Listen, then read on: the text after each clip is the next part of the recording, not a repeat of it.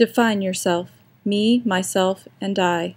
Define yourself with accomplishments, with social acceptance, with adulation and recognition.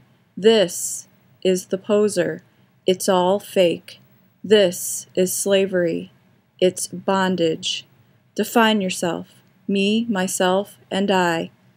Define yourself radically as one beloved by God, intimately identified as Emmanuel's. This is royalty. This is the real real. It's freedom. One is defined by activity and noise, the other by solitude and a still small voice. One is defined by going along with the tide, the other by swimming the other way. One is defined by hiding longings and fears, the other by coming out into the light.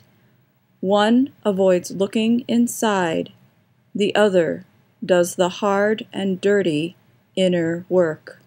One only knows conditional love, no love at all. The other knows unconditional love, warts and all. One is truly alone. The other is in the presence of the ever present. Define yourself. Me, myself, and I. Define yourself.